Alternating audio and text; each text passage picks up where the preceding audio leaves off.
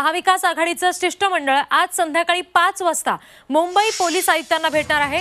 एक मे या दिवशी बीकेसीमध्ये आयोजित केलेल्या वज्रमूठ सभेच्या परवानगी आणि सुरक्षा नियोजनासंदर्भात त्यांच्याशी चर्चा करणार आहेत. तीन पक्षातले मुंबईतले नेते ही भेट घेतील असं कळतंय. शिष्टमंडळामध्ये त्यांचा समावेश आहे. शिवसेनेकडून अनिल परब काँग्रेसकडून भाई जगताप राष्ट्रवादीकडून राखी जाधव पोलीस आयुक्तांना भेटणार आहेत. महाविकास आघाडीचं हे शिष्टमंडळ आहे जे पोलीस आयुक्तांची भेट घेणार आहे. एक मेला बीकेसीमध्ये महाविकास आघाडीची वज्रमूठ सभा आहे आणि त्याचं आयोजन कशा पद्धतीचं असेल सुरक्षा व्यवस्था कशी असेल या संदर्भात चर्चा करण्यासाठी आयुक्तांची ही भेट घेतली जाणार आहे. लाल मातीतली कुस्ती. म्हणजे